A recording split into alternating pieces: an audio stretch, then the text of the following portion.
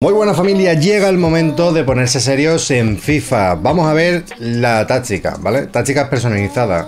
He de aclarar que la táctica va en función de funcionalidad, forma de juego y valoraciones de jugadores profesionales, ¿vale? He hecho un estudio y he hecho mi propia táctica que la verdad es una auténtica pasada y me funciona súper bien.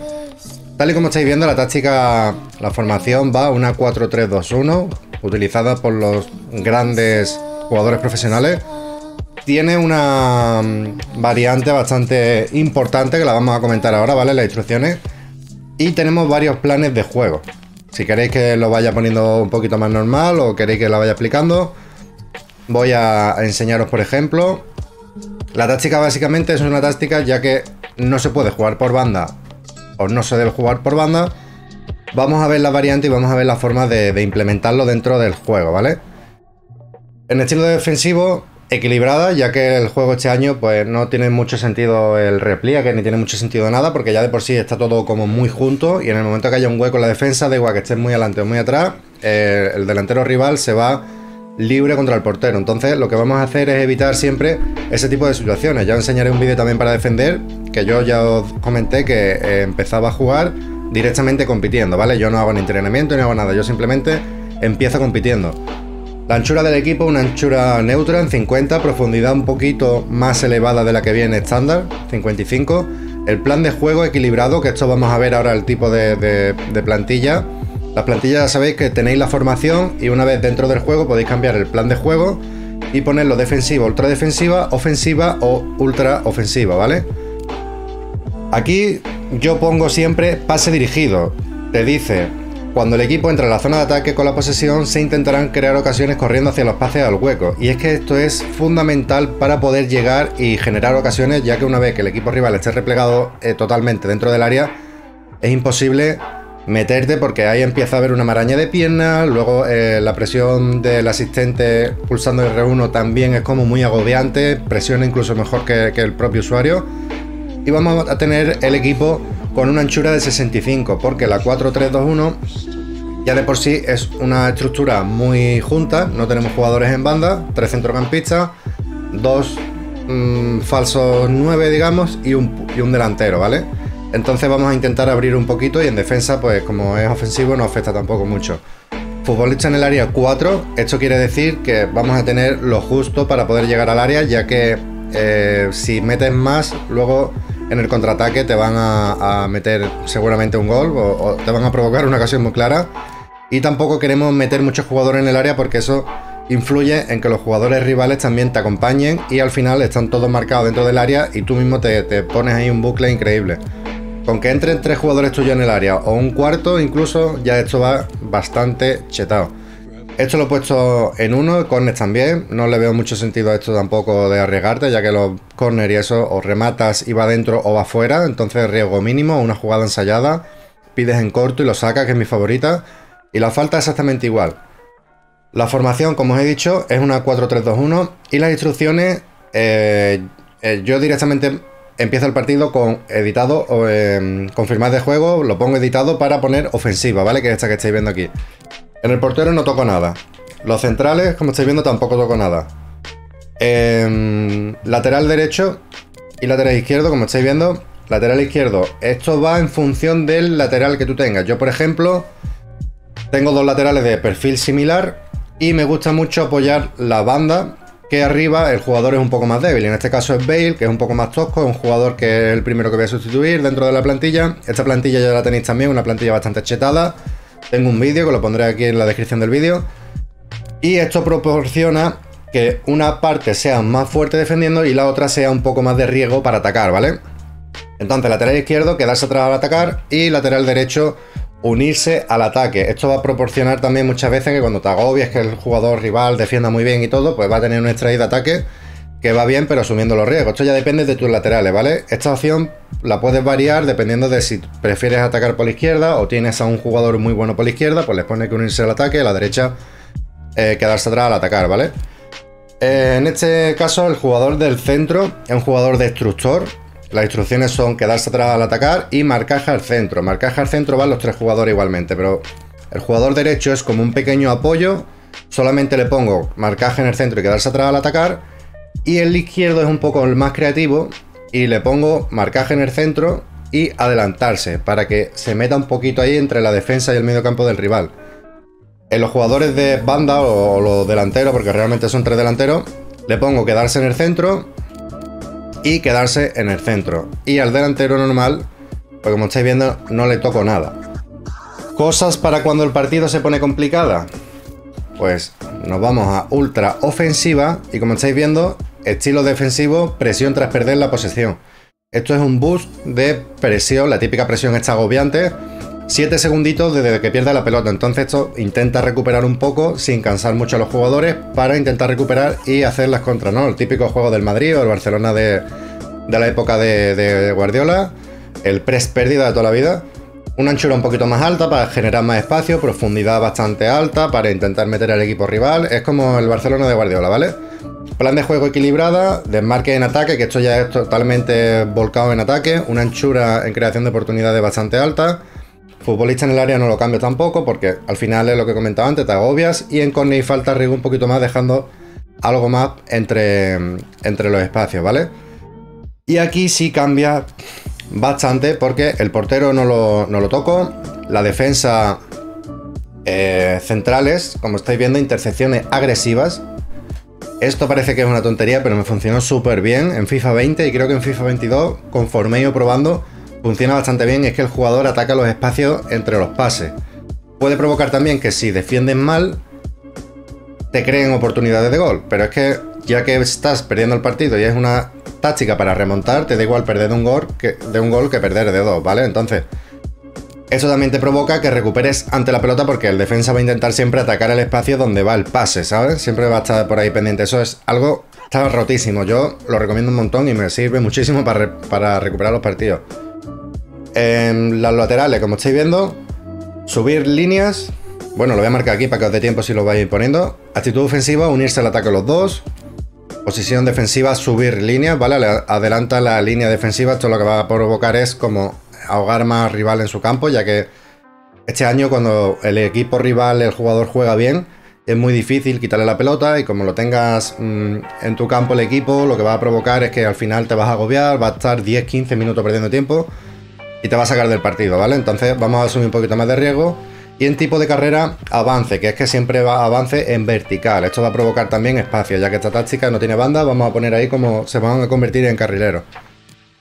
El centrocampista destructor aquí cambia un poco, como estáis viendo, marcaje en el centro y en apoyo en ataque quedarse atrás al atacar, que es el único pivote que se va a quedar por ahí flotando entre la defensa y el medio campo, intercepción agresiva, igual que la defensa. El centrocampista derecho, que era también un poco el apoyo, exactamente igual, pero con quedarse atrás en el atacar, y aquí cambia con Modri en este caso, que es el izquierdo un poco más creativo, también igual, marcaje en el centro, intercepciones agresivas y distancia entre defensa. Distancia entre defensa que es una actitud neutral que permite no perder la forma. Esto es un poco equilibrar, ¿vale? Entonces en vez del rol de correr como un pollo sin cabeza, va a tener el rol creativo. Y aquí, como estáis viendo, Hazard y Bale, que son los dos falsos delanteros, quedarse en el centro y desmarcarse, intercepciones agresivas. Y Bale, en vez de ponerle desmarcarse y quedarse en el centro, le vamos a dar vía de ataque equilibrada falso 9 y le vamos a poner también intercepción agresiva que es intentar cuando el jugador rival esté perdiendo tiempo, vamos a explotar un poco a los dos delanteros, estos que tenemos aquí eh, pivotantes, y lo que vamos a intentar es siempre como tapar los huecos para coger las pelotas, que es que eso es lo más importante porque ya te digo, cuando se ponen pesados rivales este año la verdad que es bastante complicado. Y en el delantero no cambio nada. El plan de juego defensivo para cuando vas ganando, el rival es muy bueno y tiene un poquito dudas de a ver cómo va, o, dibla muy bien, o a ver. Esto es para tantear al rival o guardar un resultado justo, ¿vale? Aquí prácticamente no toco nada, equilibrada, anchura predeterminada, profundidad también a 50. Plan de juego, construcción lenta, porque esto lo que hace es que va provocando apoyos en vez de correr para adelante, no pierdes espacio, el equipo no se rompe. Y posesión para igual, para generar oportunidades un poco al toque, en corto, para no crear mucho hueco que te quite la pelota y te marquen atrás. Aquí me gusta así, no lo cambio. Y aquí lo interesante son las instrucciones, ¿vale? El portero no lo toco nada, pero si tenéis un buen portero, en, eh, hay algunas cosas que me funcionaron tan bien, que igual que me ha funcionado la intercepción agresiva, y creo que esto puede también venir muy bien, el guardameta libero. Pero bueno, en plan de juego defensivo no, no es muy bien, pero para apoyarte en el portero que no esté dentro de la portería, que esté un poco en el borde del área, es bastante utilizable. Lo iré probando y lo comentaré, ¿vale? Defensa no toco nada. Aquí los dos laterales se van a quedar atrás al atacar. No toco más nada. Los centrocampistas, como estáis viendo, el pivote defensivo es quedarse atrás al atacar, intercepciones agresivas y marcaje en el centro. Nos vamos a esforzar en atacar los espacios para que el jugador rival le cueste más trabajo y se agobie y intente precipitar a la hora de, empezar a jugar, ¿vale? El, este de la izquierda, que es el creativo, solamente marcaje en el centro y libertad de movimiento para tener ahí un poco que vaya multi apoyo en el resto del equipo. Y el derecho, que es como el apoyo del destructor, marcaje en el centro y quedarse atrás al atacar con él.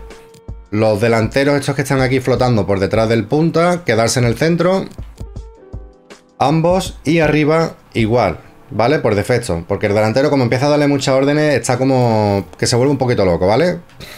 ¿Quiere guardar los cambios? Eh, sí. Porque hemos visto sin querer lo de la falta y lo vamos a ver en acción en Division Rival, ¿vale? Vamos a echar un partido en Rival y lo vamos viendo. vamos viéndolo y lo, vamos comentando si quieres o, si queréis ver la forma de juego, cómo se lleva a cabo, lo que sea, ¿vale? Me lo vais poniendo por ahí en los comentarios si queréis ver, algo en concreto. Esta es la plantilla también, que tenemos ya un vídeo hecho. Explicándola si os interesa, os gusta cómo juega, cómo se siente en el campo y eso. Una plantilla chetada por 150.000 monedas. Y que además lo bueno que tiene es que no tiene pérdida, ¿vale? No, tiene, no es una plantilla que tú cojas y, vayas a perder moneda. Es lo, lo, que más me gusta. Una plantilla chetada que no tiene riesgo. Martial, Iñaki William, Coman, Sissoko Modric, es un Navas normal, Ederson, y militado Ederson le habrá tocado en algún sobre, tiene también a. Un equipo bastante bueno, equilibrado, barato y, potente, ¿eh? Un equipo barato y potente.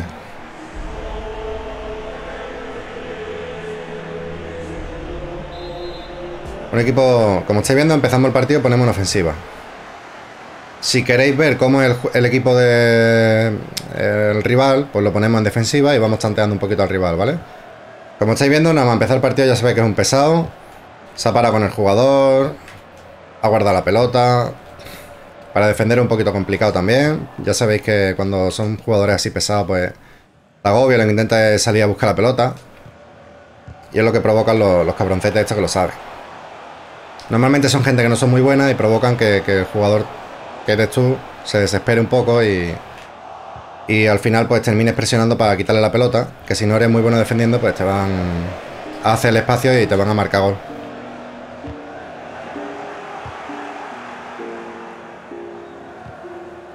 A mí esta gente me gustaba meterle cachiguitos porque cuando son tan pesados así, me agobia mucho, tío. Cuando es un jugador tan pesado. En los corners vamos a meterle aquí siempre en corto, ya que te da variante. Ah, esa era, buena, tío. Aquí nos arriesgamos. Esto es algo característico mío, la segada. Y le castigamos el primero. Le metemos la primera vacunada. Como estáis viendo, estamos en defensivo, ¿eh? Este plan de juego bastante bueno. Hazard, locura total. Carta comprada con cazador por 5.000 monedas. Esto es una locura total. Ya digo que cuando toca un jugador de estos pesados, así que mueve mucho la pelota, que es muy cargante, tal. Al final lo que, lo que promueve es eso, que no es un jugador muy bueno.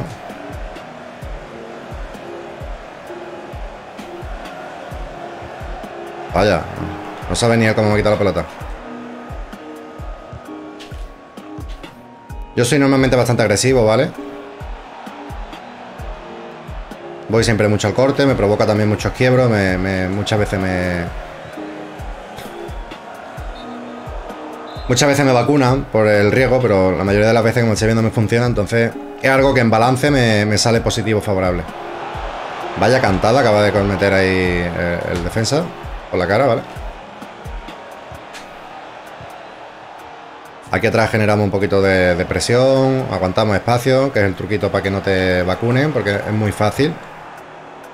Es muy fácil que te entren. Una vez que pierde la posición ya el jugador como que se vuelve tonto, no, no puede recuperar mucho la pelota y, te pueden marcar fácil.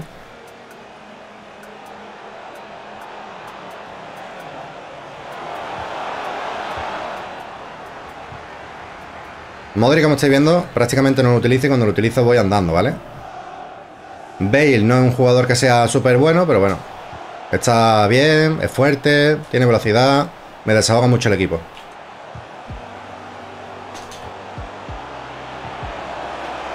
Y Modric, pues esto es Modric. Llega, controla, pasa, Bale desahoga un poquito el pulmón del equipo. Estamos jugando defensivo, va bien, no lo cambiamos, que vemos que el rival es un poquito más así, pues podemos generarle cuando no es un pesado. Es que me da mucho coraje perder.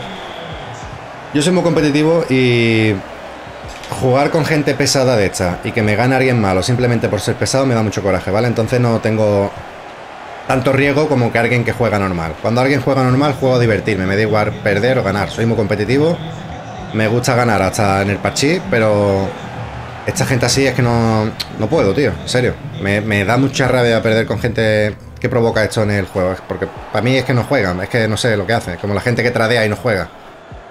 Yo entiendo que te gusta tradear, yo entiendo que tal, pero, tío. Estás en un juego de... La y eso está muy bien, pero, joder. Tendrás que jugar también, ¿no? Comprarte un juego de simulación fútbol para tradear. Yo qué sé, para eso Vete a, ver la película del lobo de Wall Street, ¿no? Vale, aquí tenemos ya a Félix. Me va a pillar. Ah. Oh.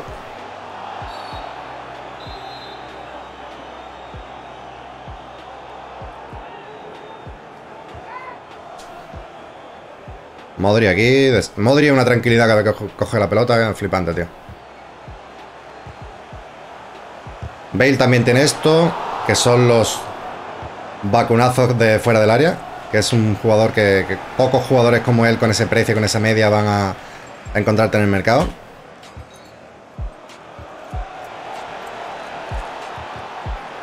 Ah, falta no. Si le da pelota, tío. Pero si le da balón. Ya está el juego haciendo de la suya. He cogido la pelota, el jugador se ha frenado, eso me mata, tío. Sobre todo en este tipo de jugadores, lo que he comentado antes. Es lo que comentaba antes, este tipo de jugadores así, tío.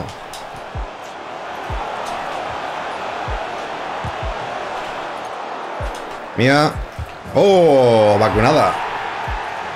Este tipo de jugadores así... Cuando se aprovechan de un fallo de eso, lo que sea es que me dan una rabia extra, tío. No me gusta, no me gusta nada. ¿Sabes? Porque son jugadores que, se aprovechan del bus del juego, eh, son muy ratas jugando y perder contra esa gente me da una impotencia que flipa. Como estáis viendo, prácticamente os he comentado ya las modalidades de juego, cómo funciona el equipo. Las estadísticas son brutales, las repeticiones, aparte de los propios goles, la estructuración del gol, como estáis viendo. Hay una calidad increíble en el equipo, la movilidad tampoco hago nada espectacular de dibles, que si aparte eres bueno regateando y eres bueno haciendo algo en concreto que puedes explotar, pues se te va a dar mucho más fácil todavía. Y aquí, como estáis viendo, son modalidades, cosas básicas, ¿vale? No hago nada que tú digas, hostia, no veo lo que ha hecho, no veo que tal. No tengo jugadores que. No tengo a Messi, no tengo a Bale, o sea, a Bale, no tengo a, a Messi, no tengo a Mbappé, no tengo a Cristiano. No hago florituras muy exageradas, no hago tampoco nada del otro mundo. Estoy aprendiendo a jugar como aquel que dice. Y mira qué fácil he ganado este partido que el rival hasta se ha desconectado, ¿vale? Subimos de progresión en Division Rival. Estoy jugando, compitiendo y mira ya la puntuación que tengo. Prácticamente todos los partidos lo he ganado. Y ya te digo, los partidos que he perdido ha sido probando y me da igual perderlo, pero contra este tipo de ratillas así no me gusta no me gusta perder. Tenemos que estar el juego súper petado. Dios, qué petado está, ¿no? Este juego muy petado, ¿no? Yo. Van lentos todos los menús. ¿Cómo? ¿6.000 monedas nada más? Ah, vale, vale, vale, sí. Vamos a mirar un poquito a la tienda a ver qué, hay. Dios, va petadísimo hasta el menú, ¿eh? Squad no lo he probado todavía, increíble. Es que me, raya mucho jugar Squad Battle. Eh, bueno, tenemos algo en tienda, vamos a aprovechar el abrimos. Vale, tenemos jugador de sobres plata. Esto me va a servir para hacer un SBC de estos de inicio, todavía tampoco los he hecho.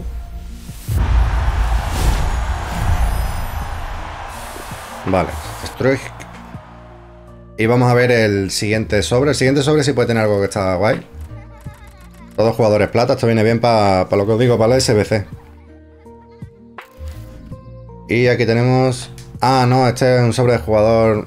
Eh, como si fuera una mejora. Vale, no, este no, no es muy, muy allá. Pensaba que era otro sobre. Bueno, Chamberlain. Esto, todo esto es carne de cañón de SBC realmente, ¿vale? Así que nada familia, ya sabéis, la táctica, la alineación, la forma de juego, las instrucciones, a mí me funciona un montón, la habéis visto en vivo, he intentando más o menos explicar eh, para que lo veáis sobre la marcha, ¿vale? Que no es simplemente porque veo gente que, oye, mira esta táctica, no sé qué, no sé cuánto. Pero después no saben jugar, no la ponen en práctica, es simplemente para que la gente vea táctica, pero cuando tú las pruebas, te molesta, te tiras un tiempo para probar la táctica, la pones en marcha, pones todas las indicaciones de los jugadores, pones cuando el, eh, las instrucciones al detalle, en equilibrada, en ofensiva, pierdes mucho tiempo, pierdes media hora, 40 minutos viendo un vídeo, preparando tu plantilla para que después nos sirva, ¿vale? Entonces, aquí no vaya a ver ese tipo de cosas. Subiré a lo mejor pocas cosas de plantilla, de tácticas, pero las que subo van a ser la leche. Así que nada, si no estás suscrito, suscríbete, deja tu like también para apoyar el vídeo. Y nos vemos en el siguiente vídeo. Un abrazo. Chao, chao.